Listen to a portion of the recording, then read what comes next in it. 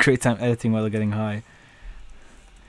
Uh, y- you know what you should do? Um, wait, I have After Effects open. Let me make a composition real quick.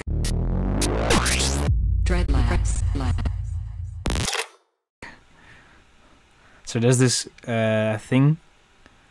Like, I'm not saying that I've actually done it before, okay? But like I, I, I made it before, and I was like, okay, this should be this could be like really funny uh, if you would get hi- high, you know, like uh, okay.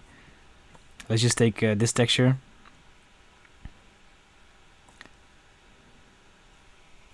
Wait a little bit. Okay. So what I want to do is you go to effects and presets and you type in turbulent displace and you increase the size and the complexity and the amount okay so it might take a while let's just put it to quarter for the sake of it being on stream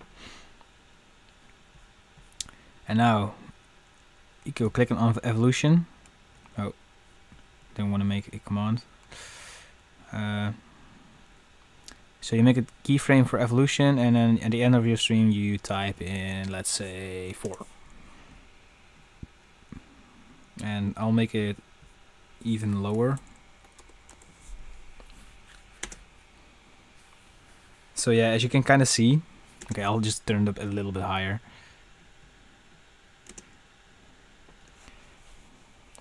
Yeah, so with this package, you had, literally had a easy tripping um, experience in like what was it one minute and um so yeah if you're into this kind of stuff or you need like something for psychedelic festival or whatever and you need to make some visu- visuals i might even cut this and make it into like a uh, stream highlight in, in a separate video like um, Tom from Dreadlabs makes uh, makes trippy visuals in one minute. Drug dealers hate him.